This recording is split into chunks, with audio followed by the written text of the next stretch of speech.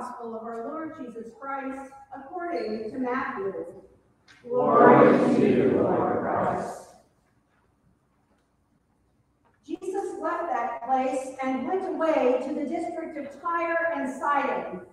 Just then, a Canaanite woman from that region came out and started shouting, Have mercy on me, Lord, son of David. My daughter is tormented by a demon. But he did not answer her at all. And his disciples came and urged him, saying, Send her away, for she keeps shouting after us. He answered, I was sent only to the lost sheep of the house of Israel. But she came and knelt before him, saying, Lord, help me. He answered, It is not fair to take the children's food and throw it to the dogs. She said, Yes, Lord, but even the dogs eat the crumbs that fall from their master's table. Then Jesus answered her, Woman, great is your faith. Let it be done for you as you wish. And her daughter was healed instantly. The gospel of our Savior. Praise to you, Lord Christ.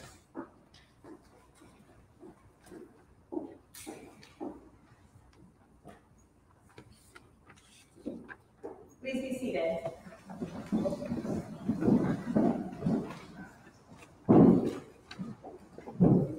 It is almost my favorite time of year.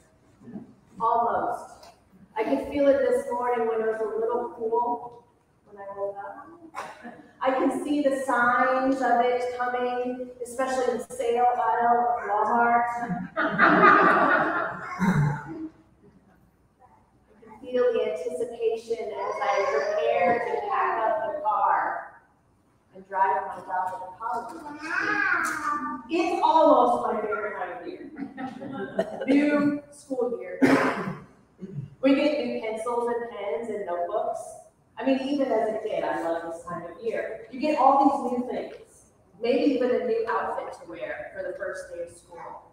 And as a mom, I love it even more because summer is long. And now, as my first fall as a priest, I'm excited because we have a whole new program here beginning. Like it's a blank slate. We can put on whatever we want, literally, appropriate yeah. Like new hymns and notebooks, everything is fresh and new, and we are prepared to see something new, to learn something new. We don't know what it's all going to be, but we have hopes and dreams. What we do know is that we're ready, ready to learn. In today's gospel today, the disciples haven't quite got the ready to learn part. See, in the passage immediately preceding this one, Jesus tells a parable about how the things we do on the outside, like the food that we eat or the way that we wash our hands, is not what makes us clean or unclean, it's what's inside that makes us clean or unclean. Right? He's talking about the traditions and the rituals that people have to feel like they're clean, but the ways that we use that to divide people into clean and unclean, good, bad, righteous, unrighteous. So he's told us this parable about it's what comes out of our heart that makes us defiled. And then to prove the point, it seems, Jesus goes to this place here in Sidon, which is where those ritually unclean people live, the Gentiles. P.S. That's probably all of us. Anywhere that Jewish people are not living, if you're not Jewish, you're Gentile in the world of the Bible. And Jesus goes to this towards this area, rich, wealthy cities, where Jewish people who lived in that area were generally farmers, agricultural people who would farm food and send it off into the cities, these great cities of Tyre and Sidon. So Jesus shows that by he moves his own body and the body of his disciples into this place known for ritual impurity. And what happens is this Canaanite woman comes out. Now, we, Matthew, the Gospel Matthew calls her Canaanite, even though the Canaanite people really didn't exist anymore at this time. But he says it to put in our head this, this image of an enemy. The enemy of the Jewish people, the historical enemy that they battled coming into this promised land. They're supposed to wipe the land clean of these impure, unholy people. So it would be a holy land. And the Gospel of Matthew tells us one of these historical enemies of Jesus comes out to him and yells. It's as inappropriate then as it would be now to yell at somebody, hey! Jesus! Son of David! She acknowledges who he is, his very Jewish identity. Son of David, David the king, the proud king of the Jewish people who united the tribes into a nation. Jesus, have mercy on me!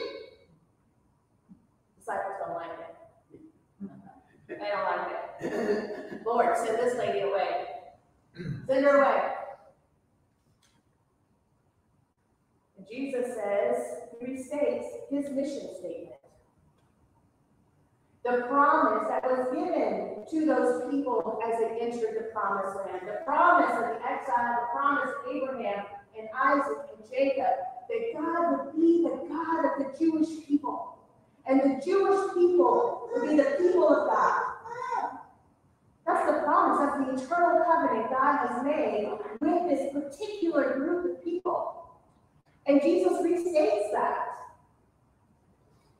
He is sent to the house of Israel.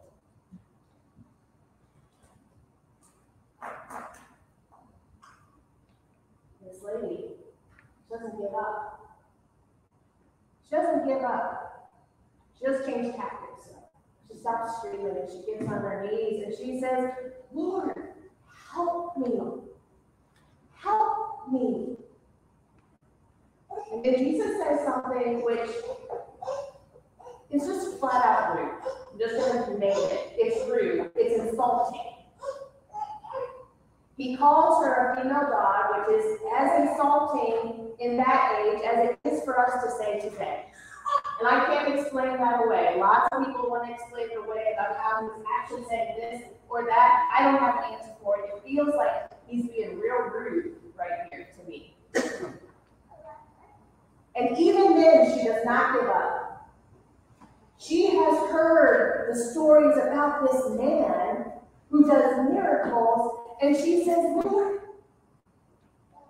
even the dogs eat the crumbs from the table. She knows the stories of the mercy of this God, the mercy that's so abundant that there's enough left over. And he says, Woman, great is your faith. Woman, great is your faith. She goes away to God healed.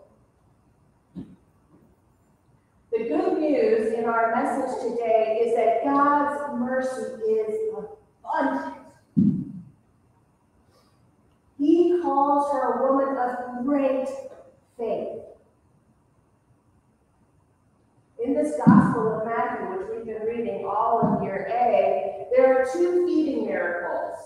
The first one happened before this story, where Jesus comes and there, there's another, there's 5,000 men plus women and children, that don't have enough food, and Jesus multiplies this food so that there's 12 baskets of leftovers. That he feeds all the people who are there, and there's 12 baskets of leftovers, probably symbolizing the 12 tribes of Israel. And immediately after this story, there's another feeding miracle where Jesus feeds thousands of people, and this time there are seven baskets left over. Seven, symbolizing in the Bible this number of completion, of wholeness. That God feeds his people so much that there's plenty left over. And Peter, Peter, who's been there and walked with Jesus this whole time, Peter, the rock who did not sink. Peter, last week Jesus said, Peter, you have little faith. Because Peter had seen all these things and still not believed. And yet this woman who had seen nothing, but had heard the stories of a God who provides abundantly, believes that Jesus has enough left over for her and her daughter. She gets it. And Jesus says that she has great faith. Now, in our letter to the Romans this morning, the letter to the Romans is a letter to a people who are mostly Gentile. Right? It hasn't been very long since Jesus has died, and people are still trying to figure out, like, okay, has God abandoned the Jewish people so that now the Gentiles are the new chosen people? Or maybe the Gentiles have to become Jewish to be part of this promise? And, and so the letter of Romans is kind of working this out. And what we, little paragraph we get today is saying that no, God did not abandon the Jewish people. God's promises are irrevocable. God's people are the Jewish people now and always. We have not supplanted them. Christianity has not supplanted God's promises to the Jewish people. We are blessed we are blessed to be grafted onto the root of these promises, that we get to share in the abundance of God's mercy, even though we're not part of the original promise. Or that we are, but it wasn't quite meant for us. Abraham and Isaac and Jacob, and then all people will be blessed through you, God tells Abraham. That God's covenant to Jewish people remains, but the abundance is enough for us. Or maybe when we think about understanding God's abundant mercy and grace, we can just look at all of the scriptures written in languages we don't speak, and then translated, and then translated again into English. Now, am I, uh, maybe, does anyone else here ever have to read Shakespeare when you were like in high school? Did you have to do that? Are still making people do that? Maybe, you'll see, yeah. Shakespeare in the original English, like your teacher tells you this is a joke, and you're like, I don't get it. Because the culture is not the same, even though English is our, like, is for many of us, our root culture. And the tongue, English language, is our mother tongue, and yet we don't, we don't get a lot of Shakespeare. That's only 400 years ago.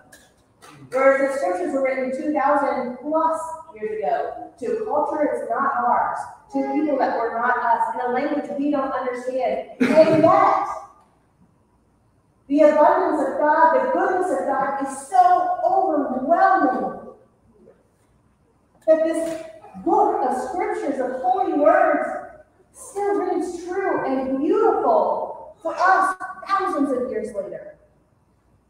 That even though we don't get all the jokes or the references, we can still see the grace of God shining through it. The crumbs are abundant. The crumbs are a feast in themselves. I believe our invitation this morning is to cultivate a spirit of curiosity, a spirit of learning, to see where God is surprising us, see where God's mercy is new in a way we don't expect. This week I saw a picture on the internet, you might have seen it, where this new James Webb telescope, right, this telescope that's taking pictures deep, deep into space. That they, they send back this picture, and you look at this picture of the stars, and there's a question mark Seriously, there's a picture of this ancient galaxy millions of miles away, and what you see is a question mark. It's like God's eternal calling to us to be like,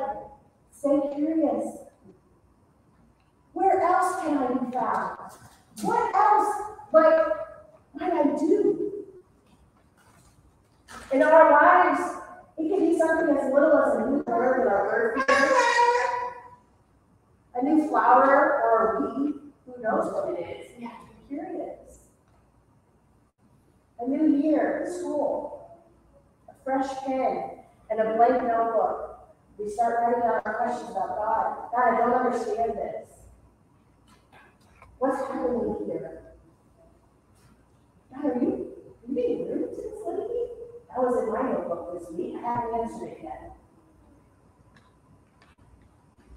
This Canaanite woman comes out of her town and she meets Jesus on this road and she screams out to him, Kyrie eleison.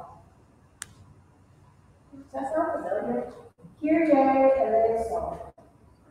These ancient Greek words that we say often during the season of Lent. Greek, the common tongue of that time. Likely this is what she said when she was yelling at Jesus on the road, Kyrie eleison.